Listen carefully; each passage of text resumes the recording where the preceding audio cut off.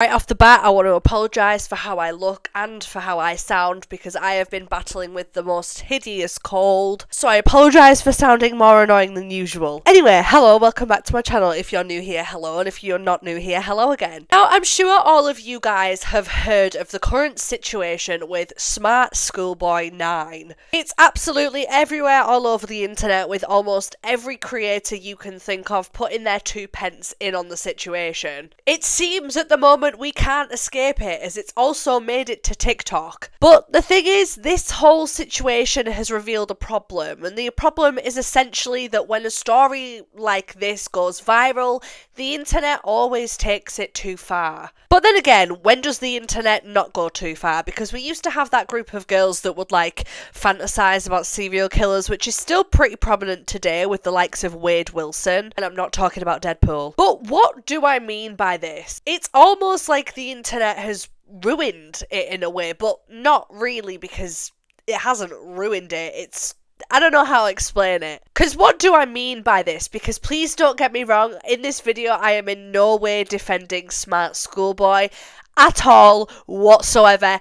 Don't get it twisted. I'm more leaning towards the people that have made this story into a laughing stock of the internet and are taking it as least seriously as humanly possible. People have taken this story and turned it into something that it just isn't, whether it be from lack of evidence or just straight up lies. From people claiming that Smart Schoolboy 9 is some kind of deranged murderer to that he was involved in the disappearance of Andrew Gosden. Yeah, I'm not kidding. To the people that just think the situation is genuinely that funny enough to make it into a meme of some sort. Which, I mean, if you look at this situation, I mean, it's it's funny in a sense that it's insane. It's crazy that it's going on, but the fact people have brought this onto a child's game and continued to make edits of it is absolutely insane. So I thought into today's video we could delve into why the internet is beginning to jeopardise the Smart Schoolboy 9 case. Without further ado, I'll quit yapping and let's just get straight into the video. So if you have been living under a rock for the past like month or so, or you just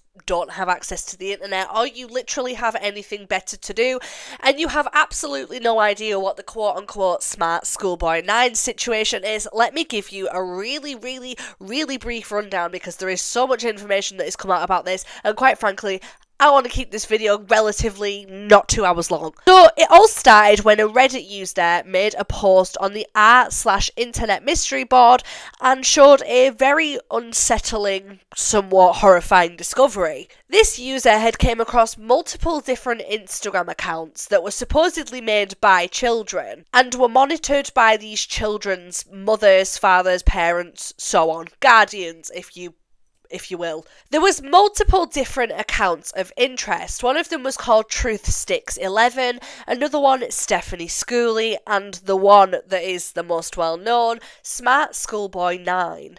So the Truth Sticks account was the one that was claimed to be run by the person's mother, and basically it just documented like a child's daily school life. You know what they did in school, what they were up to, that kind of thing. But again, the posts were not adding up to that, as it was found that this was absolutely nowhere near the truth of what was going on. And ironically, which you're going to find out why in a moment why this is ironic, ironically, this mother on this page would call out PDF files that would interact with her son on this account. And she would like post this guy is trying to speak to a 13 year old boy. Oh my god, look how weird it is. But then getting onto the posts, all these posts were like of heavily edited, weird looking children. For example, they looked like they were from the Uncanny Valley.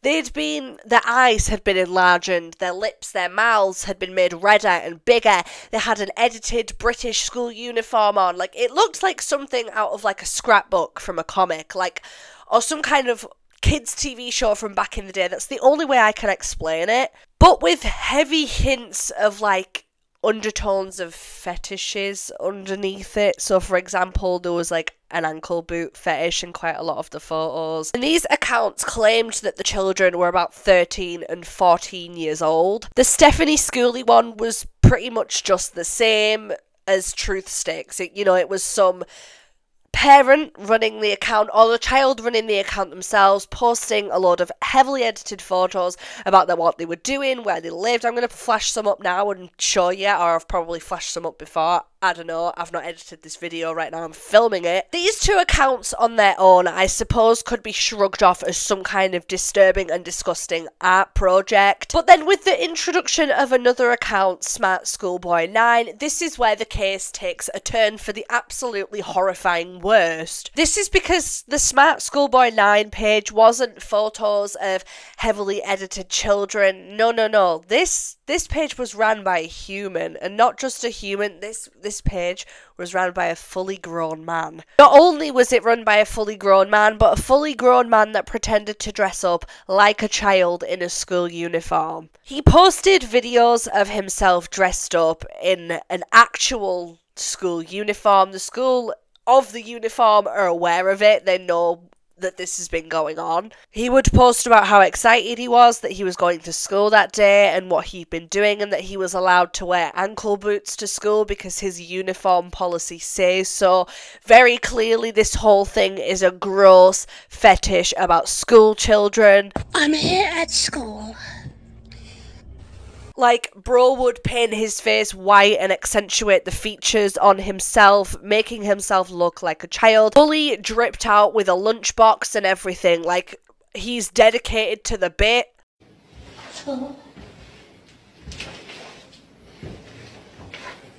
He also does this really weird thing with his tongue. Uh,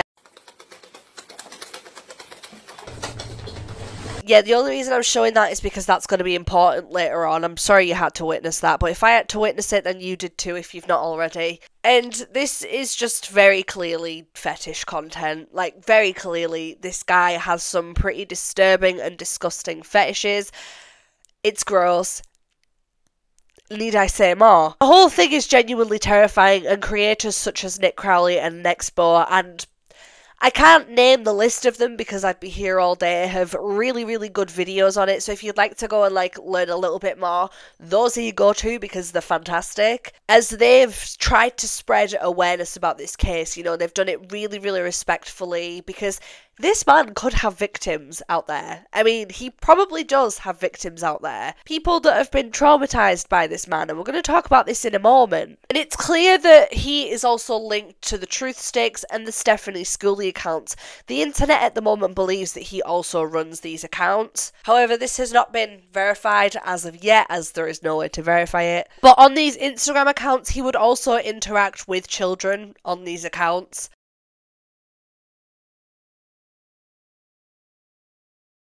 And then when anyone tried to call him out on what he was doing, he would be like, well, actually, you're the PDF file because why are you interacting with me? I'm just a schoolboy.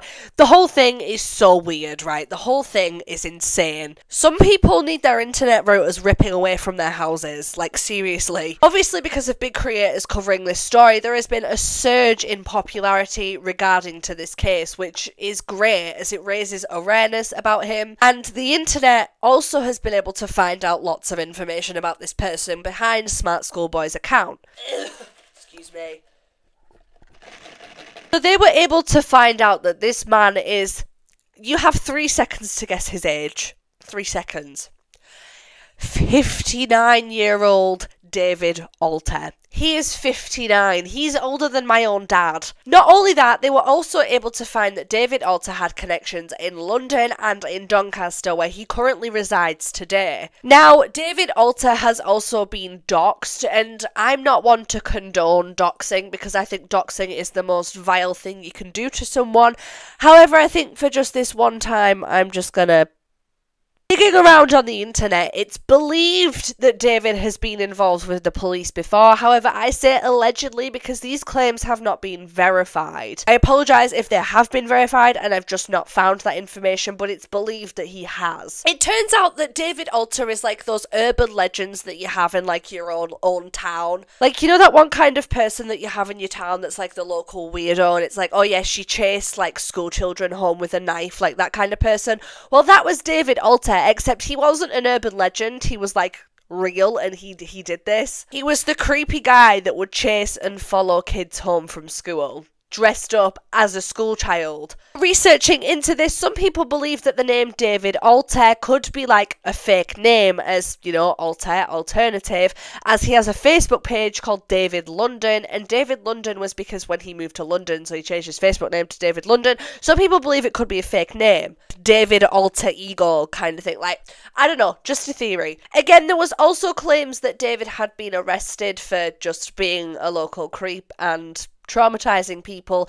But again, these claims have not been verified. But people did find his address and put his windows through, so. Rundown, weird, creepy guy, dresses up as a school kid, is a danger to society, very clearly needs mental health, is a danger to himself and probably others because he is a PDF file. Very clearly not right in the head. Probably has people out there that have been traumatized by him when they were younger. You know, it, it's it's a serious deal. And this is the part of the video where we talk about why the internet can't take anything seriously for more than five minutes. Now, there was a reason why I wanted to create this video in the first place because I came across this TikTok and the TikTok has been deleted, so I'm just gonna just gonna flash up what it said. This cold is absolutely eating my ass. Anyway, yeah, so this is the TikTok. Yeah, so someone said, What if Schoolboy 9 took Andrew Gosden? Ah, think about it because Andrew lived in Doncaster at the time and he went to London on the train and Schoolboy 9 travelled between Doncaster and London, especially apparently him being around since the 90s and Andrew disappeared in 2007 so they must have lived really close to each other. Do people not have two brain cells that they can rub together in their heads and think, actually, this really probably isn't very likely. Maybe I shouldn't share that on the internet where Andrew Gosden's family might come across this and see that he's being like dragged into this whole fiasco. Not only that, you can't just randomly accuse someone, Schoolboy 9, of being involved in Andrew Gosden's disappearance. Do you know how crazy that sounds? Based on what? Based on what evidence? Schoolboy 9 is an absolute freak, yes, but you can't just you can't do that. That's if you're unfamiliar with the case. Andrew Gosden disappeared back in 2007 at the age of 14 years old from Doncaster. Now he'd actually bought a one-way ticket to London, where he was seen leaving the train station, but has never been seen since. And today, his case still remains completely unsolved, and his whereabouts is still unknown. So someone has sat there and gone, well. Andrew Doncaster, schoolboy Doncaster, he did it he did it. Employ this person as the chief of police please. Do you how do you do the mental gymnastics to come to that conclusion? Now don't get me wrong and i've said this before it's okay to have theories like this right? It's okay to you know share these theories with your close friends over a few drinks and you know talk about it blah blah blah blah blah but when you share it to the internet, you have blasted that for everybody to see. And not only that, more stupid people are going to read that and look into it and then start going too far with it. Because all the comments were like, oh my god, you might be onto something, you might have cracked the case. I don't know if they were deleting comments or what, but there wasn't a single comment that was like, maybe we shouldn't do this. And I didn't know if it was just me overreacting, but I I think it's weird. Like even if you did want to try and connect him to Andrew Gosden, you just couldn't. Andrew Gosden was 14 years old and when he went missing he wasn't wearing ankle boots or a school uniform or anything like that. Like there's no there is there is zero correlation, there is no evidence for this and someone just throws it out there on the internet and people will take it at face value. Is that the creator's fault? Not really because they're not responsible for how other people take information, but you just need to be really careful with what you say online. And you taught that from a very young age. Another thing that really bugs me about TikTok is again, people will do anything for a little bit of clout, even if that means completely humiliating themselves. For example, this screenshot right here. Someone is literally cosplaying as Smart Schoolboy. You are cosplaying as a PDF file. This has the same energy as dressing up as Jimmy Savile. Yeah, you don't like the sound of that, do you? So why are you doing it to Smart Schoolboy 9? You weird. Pack it in. Like, haha, funny, look at me dressing up as creepy internet man. Like, like I said before, this man probably has victims that are genuinely probably quite traumatized by him. So why are you dressing up as some absolute weirdo on the internet? Like, just a simple question. Why? Like, they even got the makeup accurate as well and the ankle boots. Like, they were dedicated to the bit. Do you know what I mean? They, they sat there and had time to think this through before posting it. Like, there's a very broad spectrum of how people are dealing with this. People are dealing with it as the laughing stock and making it a joke, which I suppose is slightly better than sensationalizing it and turning it into a murder case that is absolutely not. Like trying to claim that Schoolboy is a deranged murderer that was involved in many missing people's different murders when there is absolutely no evidence for that whatsoever. You can't throw accusations like that out there. Another really interesting TikTok that I came across was this one. In a twisted way, he fantasizes not only about children and being a child, but rather the corpse of a child. The swollen lips, purple, white, pale face are indicators of a corpse. Some have even pointed out the disturbing sloshing sounds that he makes with his tongue in a few videos, which could simulate the sound of a mushy corpse again, do you see what I mean when people begin to sensationalize it? You, you don't. I don't want to sound like I'm giving Smart Schoolboy the benefit of the doubt because I am absolutely not. I need to stress this. This man is a danger. He needs to be locked up. He needs to be dealt with.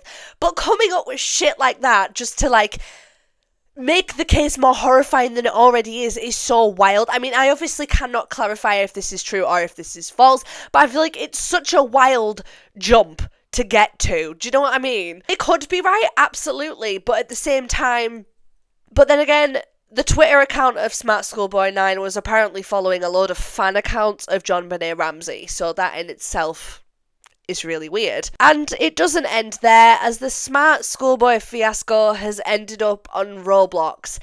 A child's game. Not in particular, someone just decided to take it upon themselves to, in a game of Dress to Impress, is that what it's called? Dress the, the game that's really big on Roblox right now where you have to like dress over. Is that called Dress to Impress? The theme on there was school and this is what they posted.